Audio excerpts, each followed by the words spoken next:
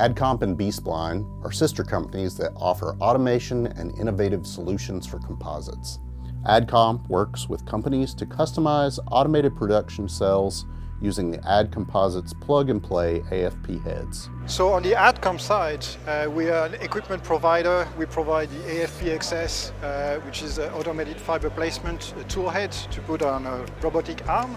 It also offers the Adapa digital reconfigurable molding system for production of 3D shaped parts without the need for a separate mold or tool. Uh, on the adaptive mold, it's a, uh, an equipment that changes shape within a few minutes.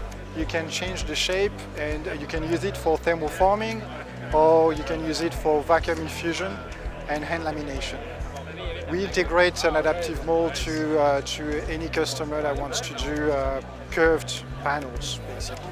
So you could do uh, you could do pre uh, preform 2D preform of uh, dry fiber, uh, which has been used, for example, on a snowboard here, where we prepared a, uh, a 2D preform that was then vacuum infused to make this uh, this board.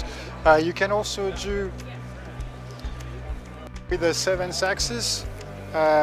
so you could make tubes using using the seven axis. Bespline uses the Adapa system to create curved foam and composite panels for marine, aerospace, architecture, and more.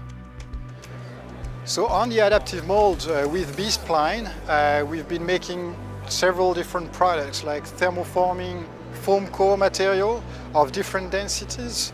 Um, so for instance, this is SAN uh, with a density of 130 kilogram per cubic meter. Uh, but we've also been shaping high density core like this is Maridure. It has 450 kilogram per cubic meter. So really, really dense. So we can do vacuum infusion on the mold.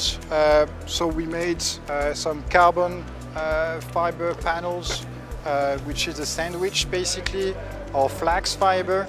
So these were made on the adaptive mold.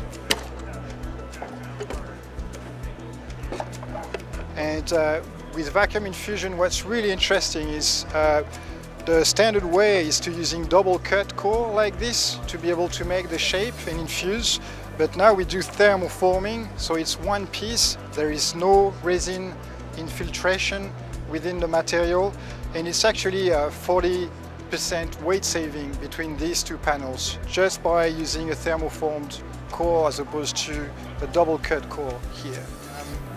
We've also been doing some thermoforming of uh, acoustic uh, panels. So this is a PET acoustic um, layer and a sandwich with a PET foam inside. So that's also something that we can thermoform for architectural projects. For more composites news and insights into the latest trends and innovations in the industry, visit compositesworld.com.